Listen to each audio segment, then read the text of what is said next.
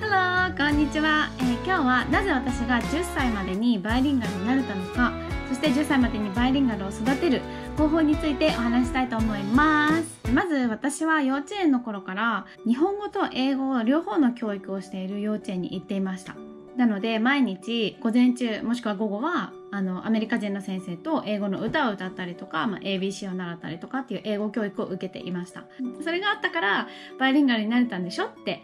私も最初は思ってたんですけど考えてみたら別にその頃は周りの子よりも話せたわけでもないし先生が言ってたこともちろん理解もほとんどできていなかったし自分が歌っている歌とか話している言葉も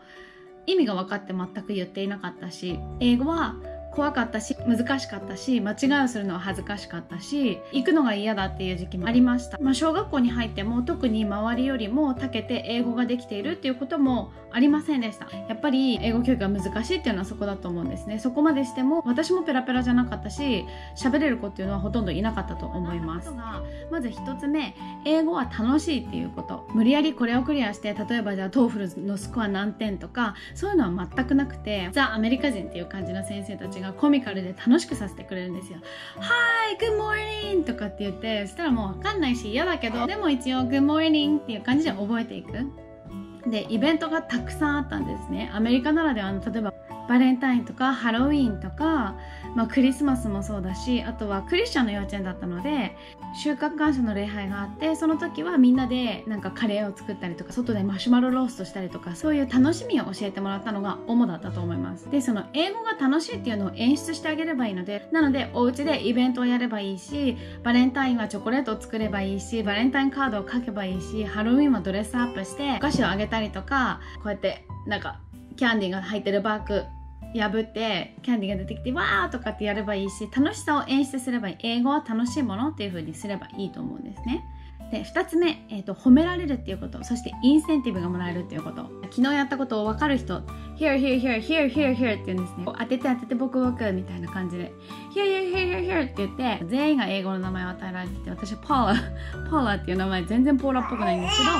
here here here ってポーラって言われて答えますね horse とかって答えてもし当たっていたら good job one chip って言っておはじきだったと思うんですけど一つおはじきがもらえたんですで多分机ごとだったと思うだからチームプレイみたいな感じでで机ごとにおはじきがもらえてワンチップもらえるでそのおはじきが10個貯まると鉛筆と交換できたんですねでその鉛筆っていうのがものすごいギラギラしててその鉛筆を貯めるっていうことがすごい楽しかったですなので、えーと、家でも私は上手にできたりとかしたらご褒美をあげようと思ってますでそれがおはじきでもいいしビー玉でもいいしそれを貯めてそれが10個貯まったら何かと交換できるとかそういう風なインセンティブをつけて褒められるっていうこと。3つ目。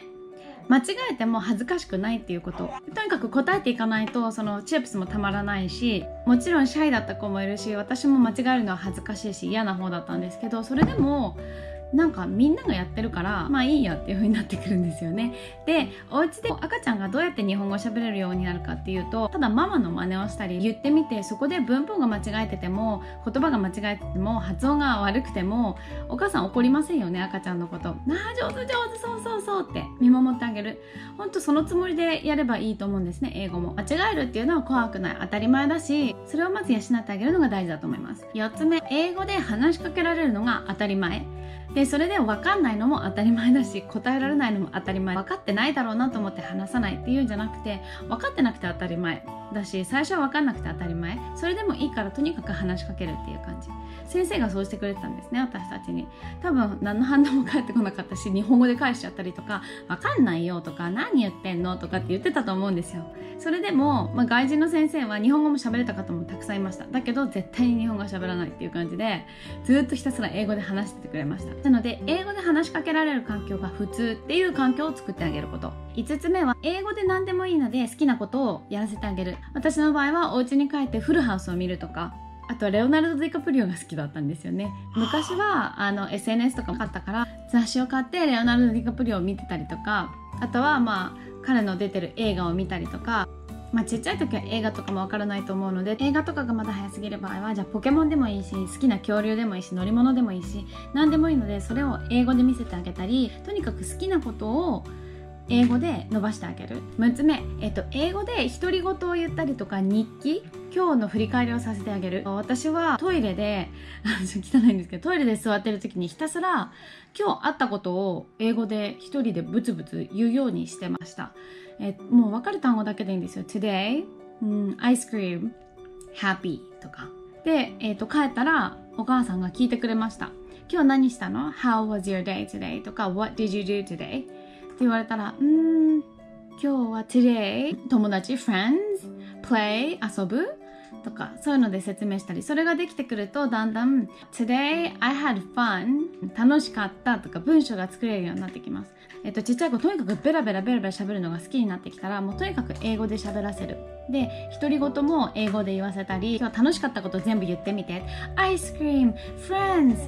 play とか全部友達とやった楽しいこととかを英語で言わせる。7つ目かな？同じことをとにかく繰り返すっていうこと。私たちもそうだと思うんですけど単語をやってへえこういう単語があるんだって思っても使わなかったら忘れるしそれを使って間違えてみたり何かを言えて達成感があったりアウトプットをし続けるということ。昨日やったからいいよじゃなくて毎回毎回同じことを言う。朝も Good morning how are you? って言ったら今日言ってもう分かるようになったからいいよねじゃなくて同じことを毎日毎日繰り返す。疲れるかもしれないけどそれが私が先生にしてもらってたことです。Good morning Paula how are you? もう毎日それです。答えられなくても次の日も同じことを聞かれるで、まあ、日本人は Fine, thank you, how are you? っていうのが身につくと思うんですけどもそれが、まあ、それを使う使わないはまた別の動画でやるとしてそれがもう考えなくても出てくるようになるんですね。How are you? って言ったら I'm fine, thank you, how are you? 知ってって言ってたわけじゃなくて子供ながらにこれが言う言葉っていうのを暗記してました。聞き流しとかずっと見せっぱなしにするんだったら同じ言葉を100回使わせた方が絶対に効果があると思います。8つ目かな？最後かな？アメリカ人と英語をしゃべる環境を作るっていうこと。これが多分一番難しいんじゃないかなと思います。